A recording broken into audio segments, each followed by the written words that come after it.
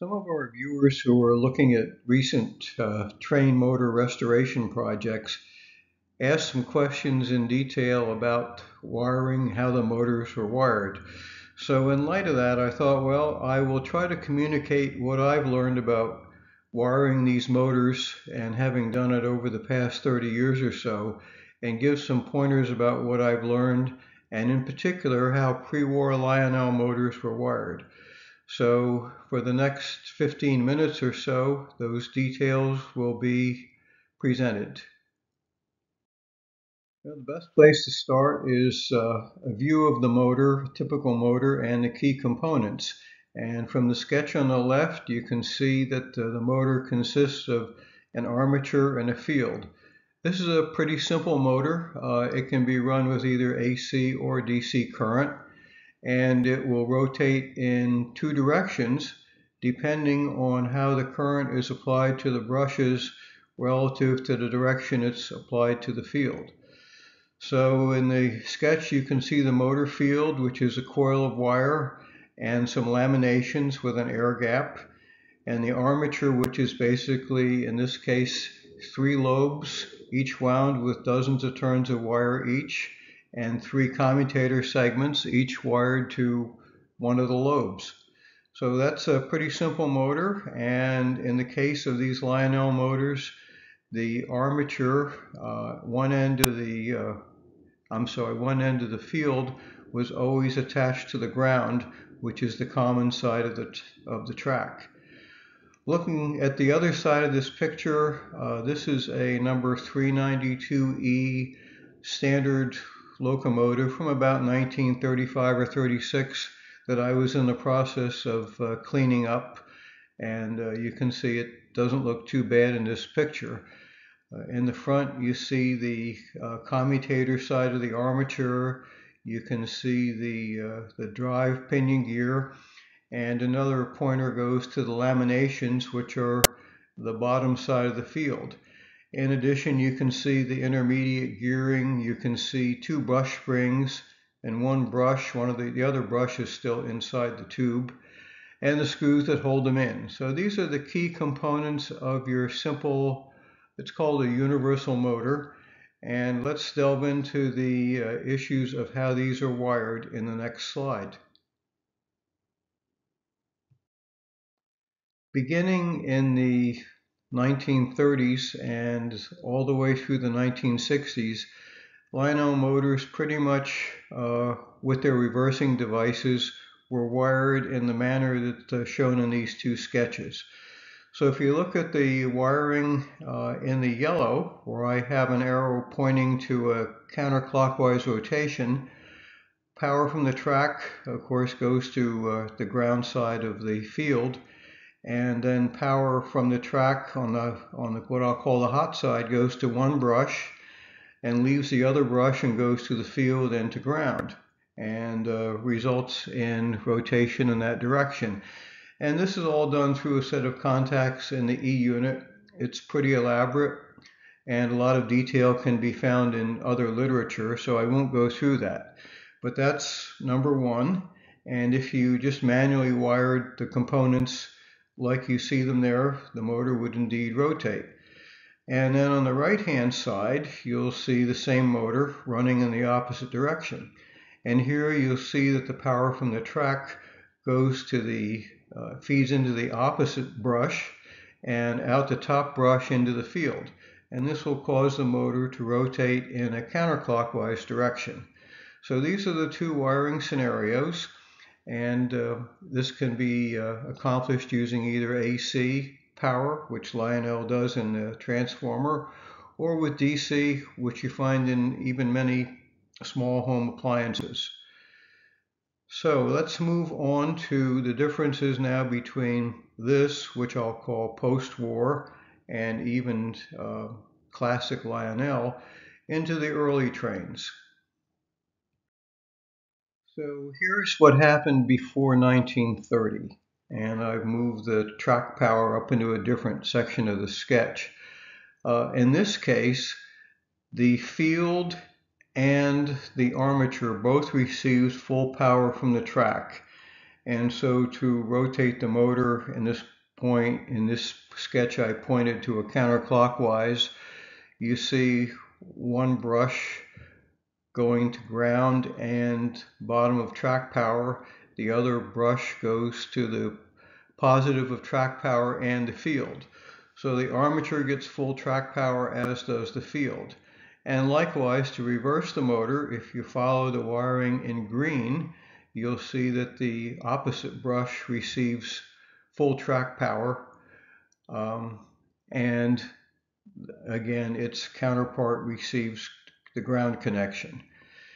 And this was uh, particularly done when the early Lionel reverse unit called the pendulum reverser was used with these locomotives. And you would find this in like uh, the number 8, number 10, 318, 402, maybe there are some others, but anyway, particularly the electric locomotives with two headlights. And the wiring on the pendulum reverser would permit the illumination of the headlight in the direction that the motor was traveling. So in the next sketches, you'll see a little more detail as to how that happened. Rummaging through my boneyard, which is not as substantial as it used to be, I ran across two contact assemblies from the old Lionel pendulum uh, reverse units. And on the left, two pieces, uh, I've kind of parted away the unit and you can see the contact surfaces and the wipers and all that is assembled in the right hand one uh, and you can see on the right hand one also on the left hand edge are two screws and for the units for the motors with two headlights these would each go to illuminate one of the headlights when the appropriate brush was uh, connected to power. So if we're going to minimize the power on the armature, and I found that a lot of these motors would be extremely, I'll call them ill, they wouldn't run well, or they barely run, or ran with no power, and connecting them per the arrangement you see in the 1930s and forward, they would again come to life and run properly. You could take that pendulum reverse unit and you could slide a piece of tubing over one of the contacts and this would allow you to wire the reversing unit such that you'd have series connected brushes and field. And so you see that I've placed a piece of tubing over the appropriate contact and indeed this would happen. And when you do this, you can't wire your headlights to those two remaining screws. You have to wire the headlights then directly to power all the time. So your downside of this is while the motor runs well, you would find that the uh, headlights are both on at the same time. Now, why do these motors sometimes get sickly?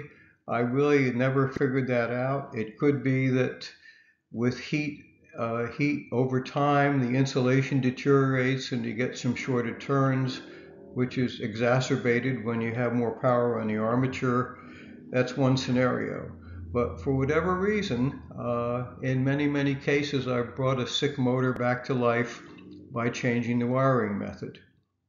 And last but not least, I'll show you a little more detail regarding this pendulum reverse. So here's a sketch that I did decades ago when I was trying to unravel the mystery of what makes these motors good or bad. And my suggestion uh, before attempting to do any work on these motors is to record the position of every one of the wires firsthand before you take it apart. And one of the main reasons is that the wire insulation crumbles with time, particularly on motors made before 1935 or so. So you want to be very careful, identify each wire. They're usually all black. And uh, sometimes you either replace the wire or you can cover it with tubing if you think it's still usable. But any case, Record the position of every wire, which brush it goes to, which position on the, on the reverse unit. So here's a sketch I made of the contact end of the pendulum reverser.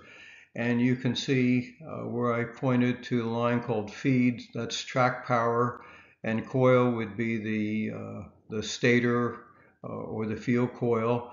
And then where your two brushes would land. and you see the activating lever on the bottom which would rotate. Uh, whenever you interrupted power, uh, it would be pulled to the opposite side by uh, a pendulum type of motion, which is why it's called a pendulum type reverser. And if you had lamp connections, you would see them along the left-hand side. So that was a sketch of how I found it wired. And also, if you look at early armatures, if you look at the right-hand panel of the photograph, this is a reproduction armature designed for a number 33 and it has a kind of a tricky wiring, but still basically it has three, three lobes. And But note the commutator is basically barrel shaped and runs along the shaft. And you'll find uh, even in the supermotors that they all had this kind of commutator and three distinct lobes of, uh, of windings. So these were used on most of the standard gauge motors in the 1920s and even earlier. So that's the story that I have, and I hope this uh, wiring description has been informative and allows you to get your motor working in a little bit better method. And we have one last sketch coming up, which is going to talk about manual reversing. From one of our videos where I was doing a number 262, I just grabbed a couple of uh, screenshots from the video showing the connection side and the mounting side of a manual reversing switch uh, from a number 262 locomotive. Switch was common even on the number 8s and 10s if they didn't have electric reversing. So if you rotated the switch 90 degrees or so, then the engine would reverse direction. So I made a little sketch uh, basically showing what's inside. These are basically two wafers. One wafer has uh, some little contacts pressed on by springs that are underneath the screws, and the other side has a couple of brass sheets that are just folded over onto the insulator. And you can look at that on the right, and uh, you can see that if you rotate those uh, brass sheets by 90 degrees, then the brush to track and brush to field connections uh, reverse and thus your direction of your motor travel will reverse. So simple-mindedly, then this is how you would rewire in my best methodology an O gauge or a standard gauge motor to have a series connected uh, armature and brush. My finding with this is you might give up a little bit of power because you don't apply quite as much to the armature or field, but really the downside is the uh, motor will typically run well and it has more than adequate power and more than adequate speed. So I hope all this has been, informative and allows you to proceed forward with your motor repairs and wiring tasks. Again, have a great day. Have a happy new year 2023. And as always, thanks for watching.